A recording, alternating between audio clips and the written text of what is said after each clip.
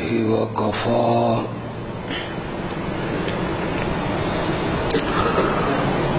والصلاة والسلام على سيد الأنبياء.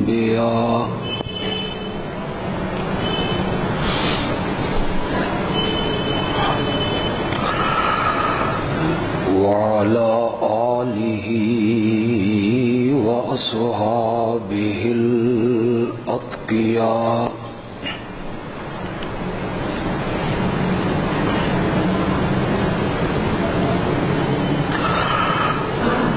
أما بعد فأعوذ بالله من الشيطان الرجيم.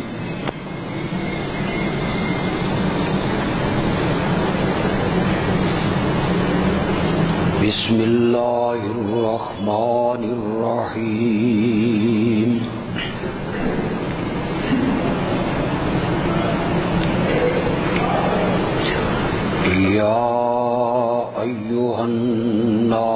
قد جاءتكم موعظة من ربكم.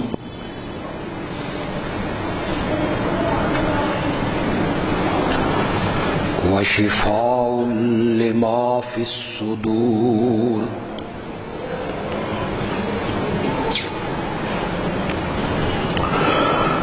وهدى ورحمة للمؤمنين.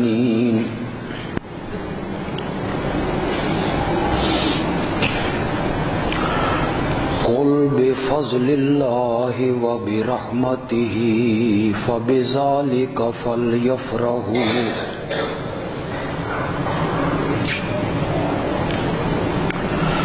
هو خير مما يجمعون.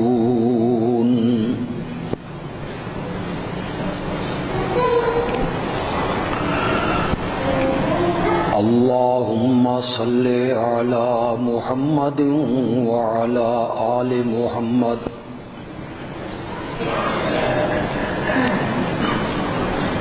كما صليت على إبراهيم وعلى آل إبراهيم. إنك حميد مجيد. اللهم بارك على محمد وعلى آل محمد. كما باركت على إبراهيم وعلى آل إبراهيم. إنك حميد مجيد.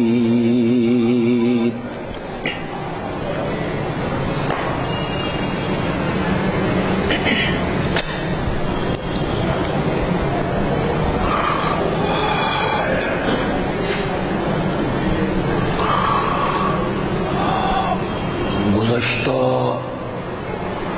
خطبے میں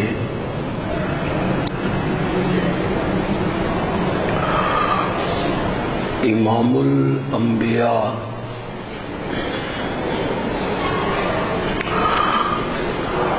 حضرت سیدنا محمد الرسول اللہ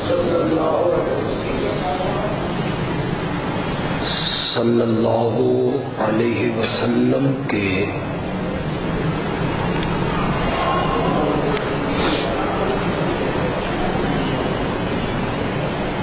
ایک ارشاد کو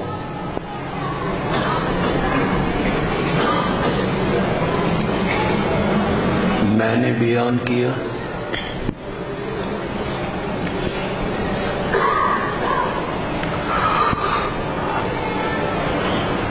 آپ نے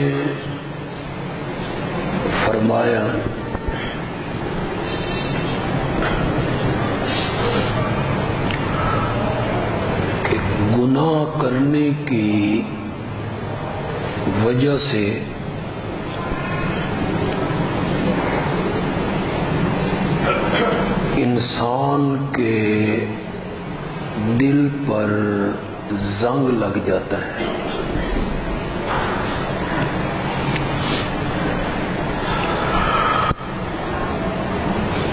صحابہ نے زنگ اتارنے کا طریقہ پوچھا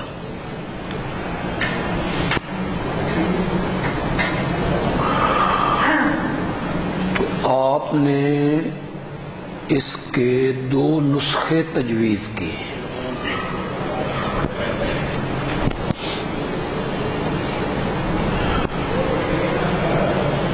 ان دو نسخوں میں سے پہلے نسخے پر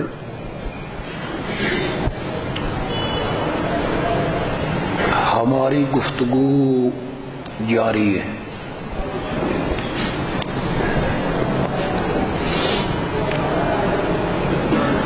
دلوں سے زنگ اتارنے کا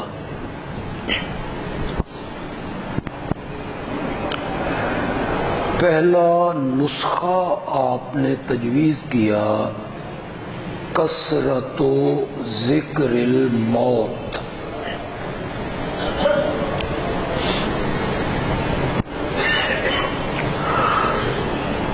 موت کو کثرت سے یاد کرو۔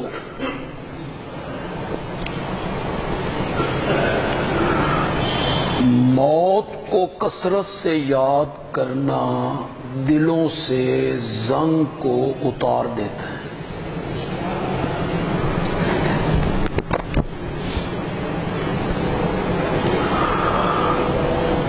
موت ایک ایسی اٹل حقیقت ہے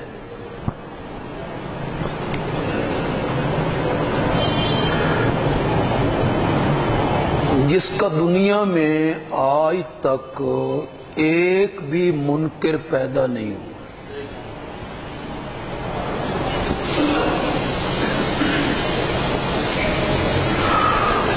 اور یہ ایسی اٹل حقیقت ہے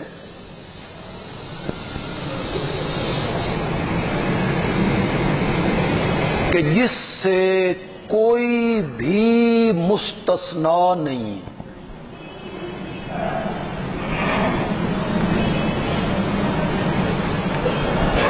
موت تعاقب کر رہی ہے، پیچھا کر رہی ہے۔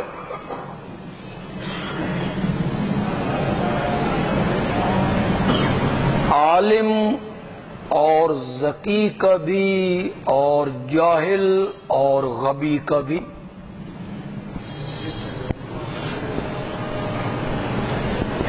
دولت مند کا بھی حاجت مند کا بھی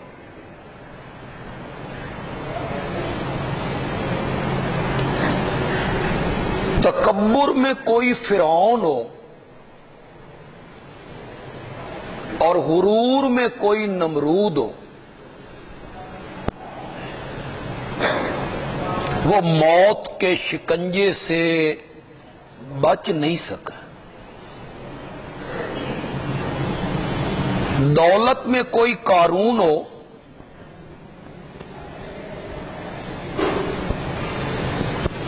اور زد میں کوئی ابو جہل ہو، موت سے نہیں بچ سکتے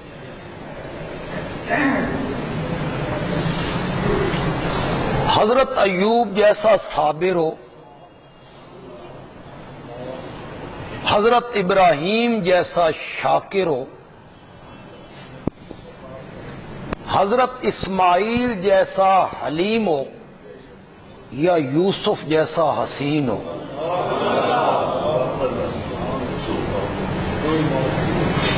موت سے نہیں بچ سک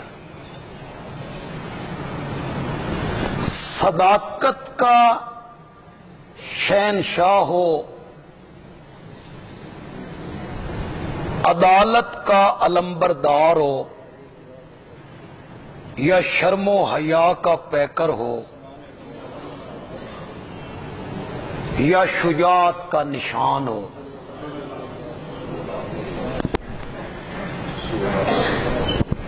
موت سے استثناء نہیں نہیں بچ سکے نہیں بچ سکے اور یہ جتنوں کا میں نے ذکر کیا کوئی ان سب کا سردار ہو۔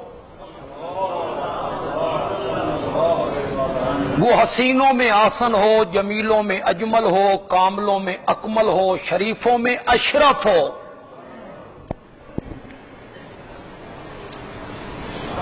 اللہ کا خلیل بھی ہو، اللہ کا حبیب بھی ہو۔ مصطفیٰ بھی ہو مجتبا بھی ہو، مرتضی بھی ہو، محبوب خدا بھی ہو۔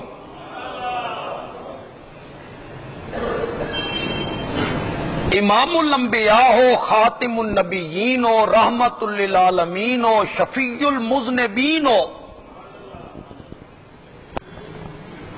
موت سے استثناء حاصل ہو، نہیں ہے۔ بدنیا گر کسے پائندہ بودے ابو القاسم محمد زندہ بودے صلی اللہ علیہ اگر اس دنیا میں کسی نے ہمیشہ رہنا ہوتا اور کسی کو دوام ہوتا تو وہ ایک ہی ہستی تھی اور وہ ہے ابو القاسم حضرت محمد الرسول اللہ. صلی اللہ علیہ وسلم۔ لو کانت دنیا تدوم واحد لکان رسول اللہ فیہا مخلدہ۔ مخلدن کا معنی ہے ہمیشہ رہنے والا۔ تدوم کا معنی ہوتا ہے ہمیشگی کا۔ لو کانت دنیا تدوم واحد اگر اس دنیا میں کسی نے ہمیشہ رہنا ہوتا لکانا رسول اللہ فیا مخلدہ۔ تو وہ ہمیشہ رہنے والا کون ہوتا؟ حضرت محمد الرسول اللہ صلی اللہ علیہ اگر وہ اس دنیا میں ہمیشہ نہیں رہے، تو پھر اور کون ہے جس نے ہمیشہ اس دنیا میں رہنا ہے؟ یا موت سے اس کو استثناء حاصل ہے؟ کسی کو استثناء حاصل اینا ما تکون یدرککم الموت؟ بھاگتے تھے نا منافق جہاد سے، اور جی چراتے تھے جہاد سے، اور اس کی وجہ صرف یہ تھی کہ مر جائیں گے۔ اللہ نے اس کا رد کیا اینا ما تکونو تم جہاں کہیں بھی ہو وہ یدرککم الموت۔ تمہیں آ لپیٹے گی موت، ولو کانو فی بروج مشیدہ۔ مشیدہ کا معنی ہوتا ہے مضبوط، اور بروج کا معنی ہے محل۔ اگرچہ تم ہو وہ مضبوط محلات کے اندر، تو تمہیں موت نہیں چھوڑی نہیں چھوڑی۔ کل نفس ذائقت الموت. کل من علیہ فان ویب کا وجہ ربی کا ذل جلال والاکرام. بس. سب نے موت کا ذائقہ چکھنا ہے. سب پر فنا ہے. بقا صرف کس کے لیے ہے؟ اللہ کے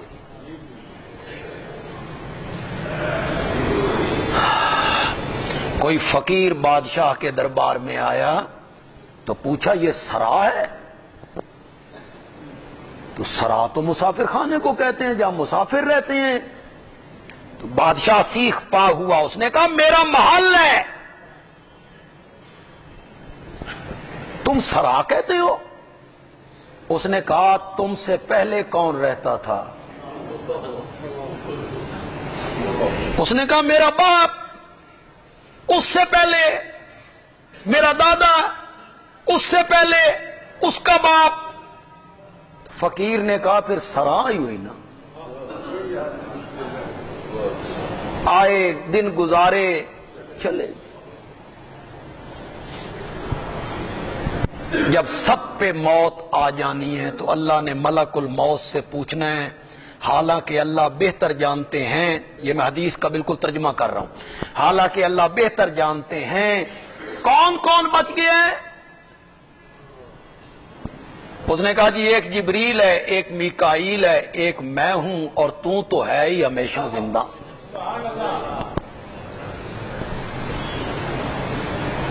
جبریل و میکائیل کے لیے موت کا فیصلہ ہو گیا۔ اللہ اکبر۔ جو حضرت لوت کی پوری بستی کو پر کی ایک نوک پہ اٹھا کے چلا گیا۔ وہ بھی نہ بچ سکا۔ اللہ پھر پوچھتے ہیں، کون کون بچ گیا؟ کہ مولا اب ایک میں، اور تیرے لیے تو حیات ابدی ہے۔ اس پہ بھی موت کا فیصلہ۔ بعض علماء نے لکھا اس موقع پہ اللہ کہیں گے، لمن الملک اليوم؟ اکیلا ہے اس وقت۔ وہ جو ہے نا اللہ کا ایک نام ہے، الوارث۔ وارث تو ہم بھی بنتے ہیں، آپ بھی وارث بنتے ہیں۔ ماں باپ کے وارث بنے، اولاد اپنے باپ کی وارث بنی۔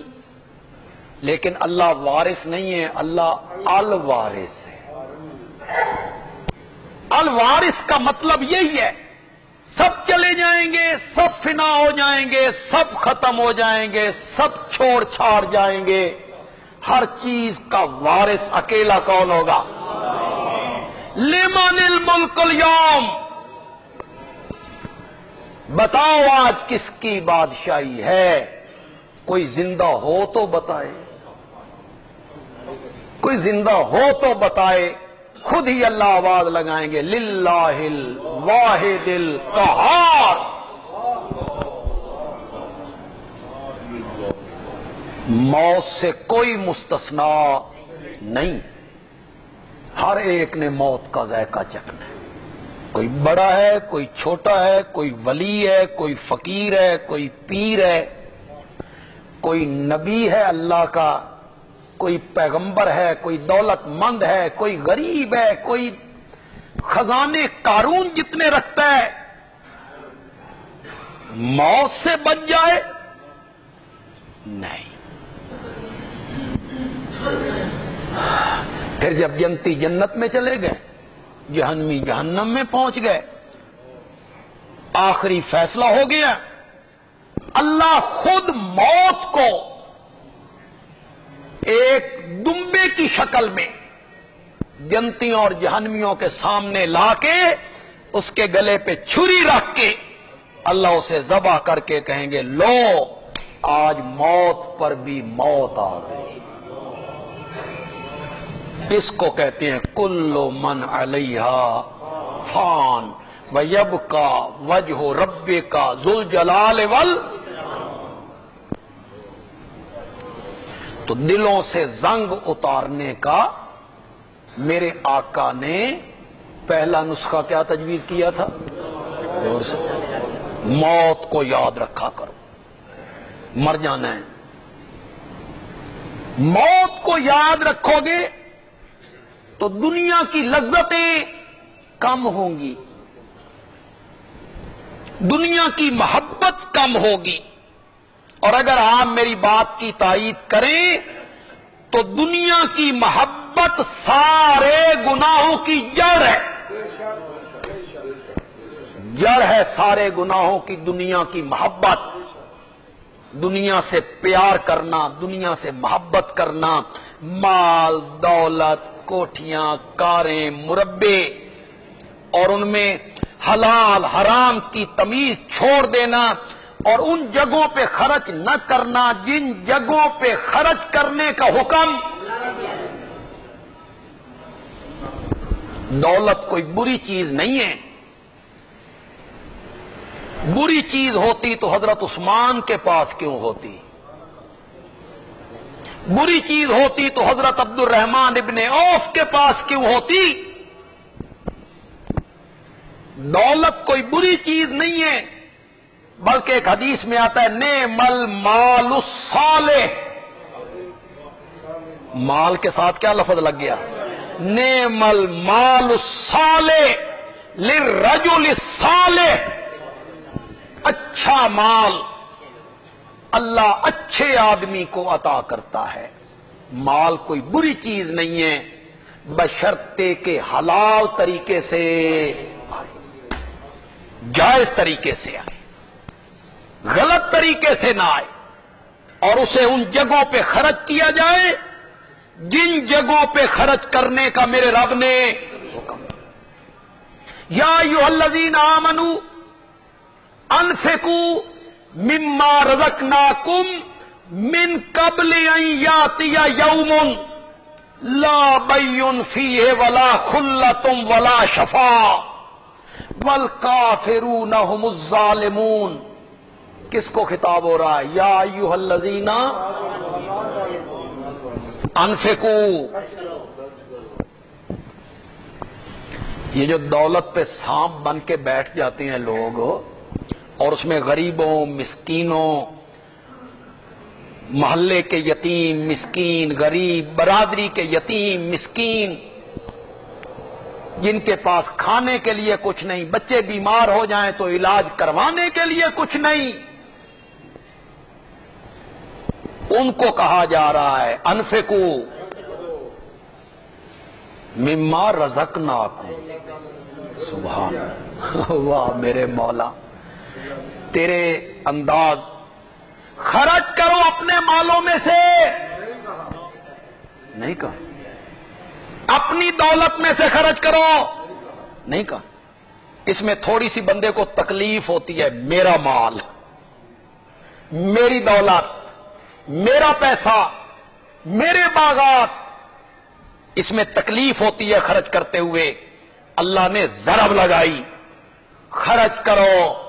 مما رزقنا کم اس دولت میں سے جو ہم نے تمہیں عطا کی۔ ہم نے دی ہے تمہیں۔ یہ جو جھونپڑیوں میں لوگ رہ رہے ہیں دیکھتے ہو جب سفر کرتے ہو تو سائڈوں پہ جھونپڑیاں لگی ہوئی ہیں اور وہاں لوگ رہ رہے ہیں۔ جب جنوری کی سردی ہوتی ہے اور ہیٹر والے کمروں میں اور گرم کمبلوں میں آرام نہیں آتا تو کبھی سوچا تو کرو ان کے بچوں کے ساتھ کیا بیت رہی ہوگی۔ میری اور تمہاری اللہ سے کوئی رشتہ داری؟ اور ان سے بھائی میرا اللہ رشتہ دار لگتا تے من دولت دیتی۔ تمہارا اللہ رشتہ دار لگتا ہے کہ تمہیں دولت دی ہے اللہ نے، اور انہیں محروم رکھ دیا ہے۔ کبھی سوچو تو صحیح اس پر۔ پھر سوچو کہ ہم پر اللہ نے اپنا فضل کی۔ اللہ نے رحمت کی۔ اللہ نے دولت دی۔ اللہ نے مال دیا ہے، رہنے کے لیے مکان دیا ہے، سہولیات بخشی ہیں، ضروریات زندگی کی چیزیں عطا کی ہیں۔ اور وہ ہے، خدا کی قسم کبھی کبھی میں سوچتا ہوں کہ جب سات سات دن لگاتار بارشیں برستی ہیں، ان کے ساتھ کیا بیتتا ہوگا سردیوں میں انفکو مما رزقناکم۔ تیرا کچھ نہیں ہے۔ ہم نے عطا کیا ہے تجھے۔ اور خرچ کرو من قبل ان یاتی یومن۔ اس دن کے آنے سے پہلے پہلے خرچ کر لو۔ لا بین فیے جس میں کوئی سوداگری نہیں ہوگی۔ کہ کوئی خرید و فروخت کر لو۔ ولا خلتم۔ کوئی دوستی کام نہیں آئے گی۔ ولا شفا تم سمجھو کہ کوئی جبری چھڑا کے لے جائے تمہیں؟ نہ۔ اس سے پہلے پہلے اللہ کی راہ میں خرچ کر۔ جن لوگوں کو اللہ نے دولت دی ہے، مال دیا ہے، پیسہ دیا ہے، پہلے تو وہ کوشش کریں کہ حلال طریقے سے کمائیں۔ جائز طریقے سے کمائیں اور پھر کوشش کریں کہ چلو صدقہ نفلی نہیں کرنا تو کم از کم فرضی صدقہ تو ادا کرو نا۔ زکات ہے اشر ہے، یہ جو فرض ہے تم پر، یہ خرچ کرو۔ اور یہاں جو انفکو آیا ہے نا، یہ فرضی صدقے کے بارے میں نہیں آیا۔ کئی جگہوں پہ اللہ نفلی صدقات کی ترغیب دیتے ہیں۔ نفلی صدقے، اللہ کی راہ میں خیرات کرو، اللہ کی راہ میں خرچ کرو۔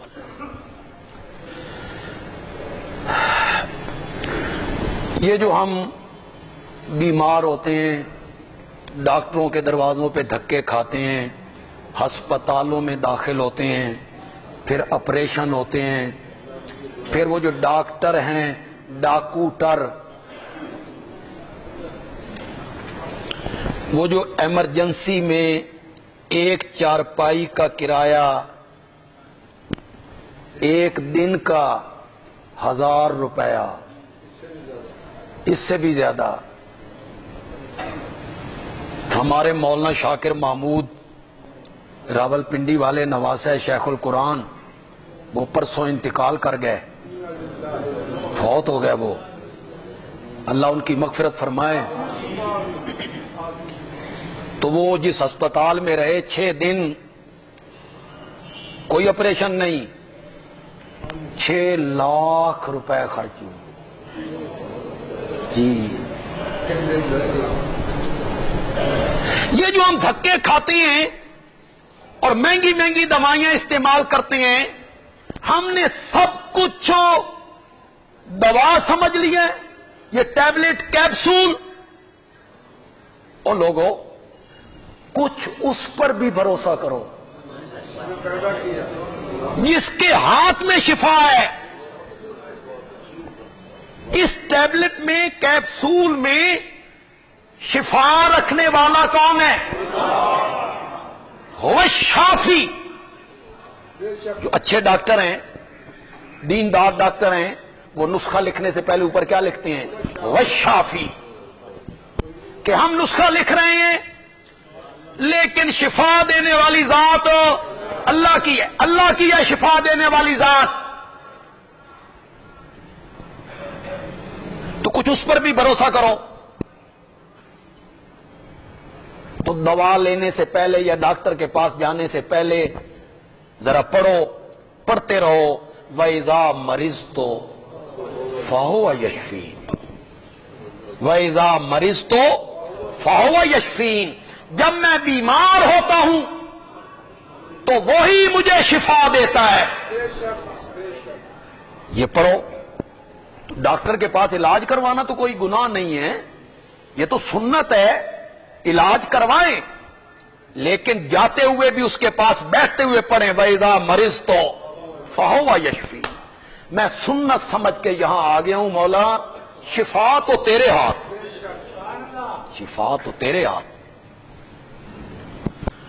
اس پہ بھروسہ ہمیں کرنا چاہیے۔ یہ میرا موضوع نہیں، واپس پلٹی ہاں جو میں اصل بات کہنا چاہتا تھا۔